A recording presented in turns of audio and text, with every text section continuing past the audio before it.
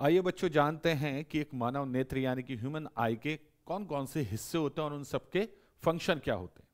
तो अगर एक ओवरऑल ओवरव्यू हमें लेना है आँख का तो इसमें सबसे पहले ऊपरी पलक होती है, जिसे टॉप लिड कहा जाता है, फिर बॉटम लिड होती है, जिसे निचली पलक कहा जाता है। इन पर बाल भी होते हैं, जिन्हें आई कहा जाता है।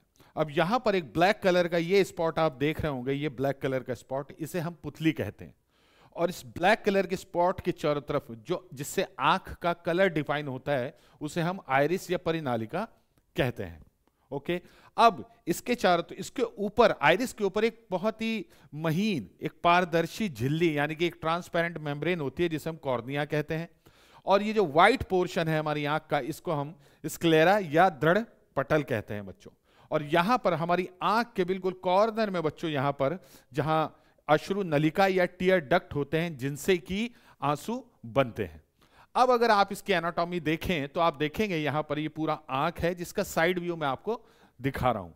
इस साइड व्यू में सबसे पहले है बच्चों आपका स्क्लेरा स्क्लेरा क्या होता है बच्चों? इसे दृढ़ पटल भी कहते हैं। यह अपारदर्शी होता है ओपैक होता है। इस, ये तंतुमय होती है, रेशेदार एक संरचना होती है बच्चों। इसमें कॉलेजन और इलास्टिक फाइबर पाए जाते हैं। ठीक है? इसे हम आँख का सफ़ेद भाग भी कहते हैं। इसका काम होता है बच्चों, आँख की रक्षा करना प्रोटेक्शन करना। उसके बाद आप देखेंगे बच्चों, यहाँ पर ये ये वाला हिस्सा जो कि इमेज में आपको ब्लू कलर से दिखाया गया है, इसे आयरिस कहा जाता है बच्चों।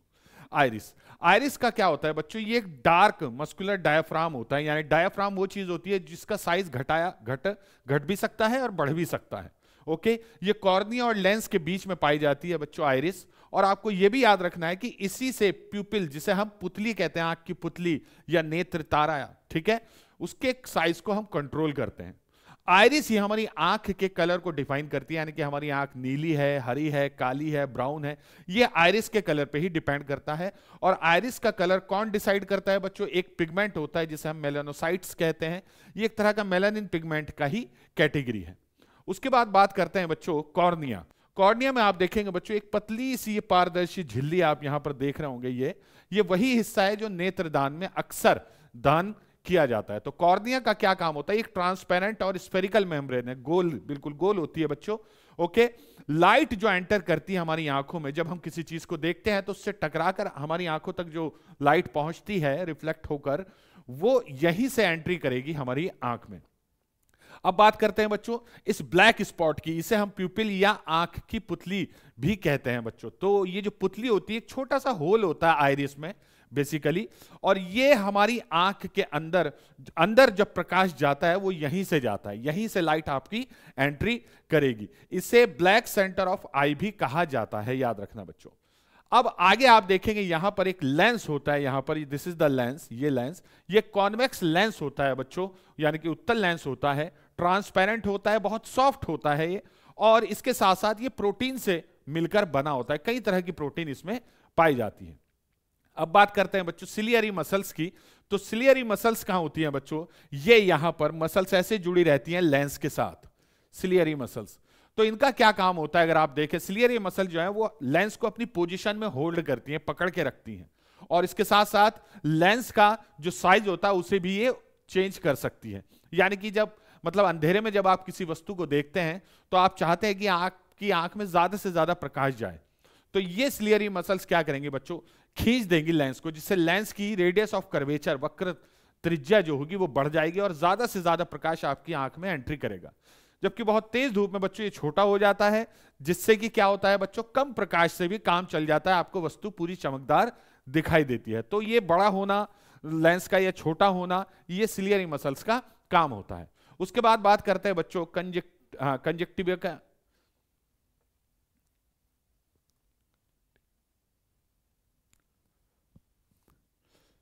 इसके बाद बात करते हैं बच्चों आप कंजक्टिविटा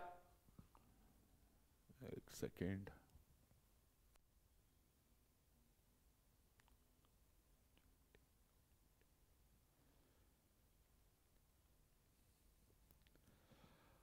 अगला जो भाग है बच्चों हमारी आँख का, उसे कहते हैं बच्चों कंजंक्टिवा इसमें क्या होता है बच्चों?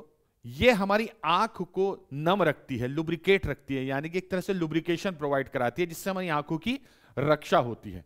इसी से बच्चों आँसू बनते हैं आँसू में जो चिपचिपापन होता है, वो एक्चुअली इसी की वजह से होता है। अब ये क्या करती है बच्चों? हमारी जो आई लिट्स होती हैं, यानी कि जो पलके होती हैं, इनके अंदर के हिस्से पर भी यह पाया जाता है, ठीक है? और याद रखना बच्चों, हमारे जो व्हाइट हिस्सा है आँख का, जिसे हम क्या कहते हैं बच्चों? स्क्लेरा इस इसके ऊपर भी ये एक चिपचिपी पदार्थ की, यानी कि इस चिपचिपी एक तरह की, और जो हमारी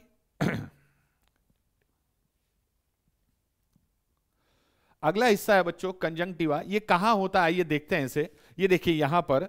ये एक परत होती है बच्चों, चिपचिपी परत जो हमारी आँख के चारों तरफ़ पाई जाती है। ओके? इसी से आँसू बनते हैं और आँसू में जो चिपचिपापन होता है वो इसी की वजह से होता है। तो इसका काम होता है आँख को नम रखना मॉइस्ट रखना, ठीक है? लुब्रिकेट लुब्रिकेशन प्रोवाइड करना आँख को ठीक है? जिससे कि हम आई लिड जब बार बार बंद करते हैं तो आप देखते हैं, अगर आपकी आँख के के ऊपर पानी आ गया है तो आप आई लिड अपनी ओपन और क्लोज करते हैं बार बार जिससे वो पानी साफ़ हो जाता है, ठीक है? तो एक तरह से एक हमारी आँख को प्रोटेक्शन प्रोवाइड कराती है, ठीक है? चाहे हमारी जो है, वो ये ब्लैक वाला पोर्शन है आँख का, चाहे व्हाइट वाला पोर्शन दोनों को यही आपका जो है प्रोटेक्शन प्रोवाइड कराती है। तो हमारी आई लिड के अंदर की तरफ़ भी यह पाया जाता है। उसके बाद बात करते हैं बच्चों विटेरस ह्यूमोर की। विटेरस ह्यूमोर क्या है बच्चों? एक तरह का ये लिक्विड है। इसे आप कांच द्रव भी कहते हैं या कांच जैसा तरल भी कहते हैं। ये एक तरह का लिक्विड होता है बच्चों, जो कहाँ पाया जाता है? लेंस और रेटिना के बीच में पाया जाता है। उसके बाद रेटिनल ब्लड वेसल्स यानी कि वो नसें या वो वाहिकाएँ जिनमें से आँख में जो है आप लाइव देख सकते हैं फ्लो ऑफ़ ब्लड तो अगर आप माइक्रोस्कोप से देखेंगे आँख को तो इसमें आपको ब्लड फ्लो होता हुआ दिखाई देगा। ऑप्टिक नर्व ऑप्टिक नर्व कहाँ होती है बच्चों? ये देखिए, यहाँ पर आपकी ऑप्टिक नर्व्स होती हैं, ये पूरा हिस्सा। ये आपके ऑप्टिक नर्व हैं। तो ऑप्टिक नर्व क्या करती हैं? जब हमारी आँख पर इमेज बनती है तो ये optic nerve in form of electrical signal ठीक है? वैद्युत संकेतों की तरह इन सिग्नल्स को हमारे माइंड यानी कि ब्रेन तक पहुंचाती हैं, जहाँ पर हम उस इमेज को सही देख पाते हैं। तो ऑप्टिक नर्व जो होती है बच्चों, इन्हें हम नेत्र तंत्रिका भी कहते हैं। ये ट्रांसमिट करती है इमेज को इमेज के जो सिग्नल है, मस्तिष्क तक। उसके बाद बात करते हैं बच्चों रेटिना की, जिसे हम नेत्र पटल भी कहते हैं। तो सही मायनों में जो किसी भी चीज़ की इमेज है, प्रतिबिंब है, वो इसी पर बनता है, बच्चों याद रखना। इसमें होते हैं बच्चों कॉन्स और रॉड्स। ये दो बहुत ही महत्वपूर्ण बच्चों चीज़ें हैं, जो कि रेटिना में पाई जाती हैं। याद रखना, ये लाइट सेंसिटिव होते हैं, यानी कि प्रकाश के प्रति संवेदनशील होते हैं, ओके? अब यही, यहाँ पे जब इमेज बनती है तो यही हमारी इमेज जो है, मस्तिष्क की मदद से हम देख पाते हैं सही तरीके से। इनमें जो रॉड होती है बच्चों, ये क्या करती हैं? रॉड जो है बच्चों अमाउंट ऑफ़ लाइट को डिटेक्ट करती हैं। ये डिम लाइट के लिए बहुत ज़्यादा सेंसिटिव होती है, याद रखना। यानी कि डिम लाइट में अगर आप कोई प्रतिबिंब देखना चाहते हैं तो आपके आँख की रेटिना में पाए जाने वाले रॉड्स आपकी मदद करेंगे। और जबकि कौन जो होते हैं बच्चों, ये कलर डिटेक्ट करते हैं बच्चों, और क्लैरिटी से आपको इमेज दिखाते हैं। कौन जो होते हैं बच्चों, ये स्ट्रॉन्ग लाइट के अगेंस्ट सेंसिटिव होते हैं, यानी कि बहुत तेज प्रकाश के प्रति संवेदनशील होते हैं। ओके? ये हमारी आँख के वो घटक हैं या वो कंपोनेंट है बच्चों, जो आँख में प्रवेश करने वाले प्रकाश को विद्युत संकेतों में परिवर्तित करते हैं और उन्हें मस्तिष्क तक ऑप्टिक नर्व की मदद से पहुँचाया जाता है। अब बात करते हैं बच्चों ब्लाइंड स्पॉट की। तो ब्लाइंड स्पॉट जहाँ पर सारी ऑप्टिक नर्व बच्चों, एक ऑप्टिक डिस्क यानी कि नेत्र पटल से होकर निकलती हैं बाहर की तरफ़, ऐसे जो मस्तिष्क तक पहुंचेंगी, उस पर यदि आपका कोई ये उस पर यदि आपका प्रतिबिंब बनेगा तो हमें बिल्कुल नहीं दिखाई देगा, याद रखना बच्चों। ठीक है? इसमें जो होते हैं बच्चों फ़ोटो रिसेप्टर्स जो होते हैं, जिन्हें हम रॉड और कॉन्स भी कहते हैं बच्चों, उनकी कमी होती है। तो इस स्थान पर अगर प्रतिबिंब बनेगा तो हमें वो दिखाई नहीं देगा। जबकि इसके ठीक उलट जो होता है बच्चों, इसके जो ठीक उलट होता है येलो स्पॉट जिसे पीत बिंदु भी कहते हैं, जैसे मैक्यूला भी कहा जाता है बच्चों। ये एक ओवल शेप का स्पॉट होता है बच्चों। ओवल शेप का स्पॉट होता है। अगर इस पर प्रतिबिंब बनता है तो बहुत ही साफ़, चमकीला बनता है। याद रखना बच्चों, ठीक है? बहुत ही शार्प बनेगा, डिटेल, सेंट्रल विजन इसमें देखने को मिलता है, ठीक है? आपको यह याद रखना है। और इसमें कोन्स जो होते हैं वो बहुत अधिक मात्रा में पाए जाते हैं, कोन्स, ये भी याद रखिएगा। अब बात करते हैं कि प्रतिबिंब कैसे बनता है आँख पर। देखिए, जब प्रतिबिंब बनता है तो क्या होता है? क्योंकि हमारा लेंस कॉन्वेक्स है। हमारा लेंस कैसा है बच्चों? कॉन्वेक्स लेंस है। तो कॉन्वेक्स लेंस में हमेशा याद रखना इमेज हमेशा रियल बनेगी ओके और इन्वर्टेड बनेगी इन्वर्टेड जब भी रियल इमेज बनती है तो इन्वर्टेड यानी कि उल्टी बनती है, उल्टी, ठीक है? और कहाँ बनेगी? रेटिना पर बनेगी।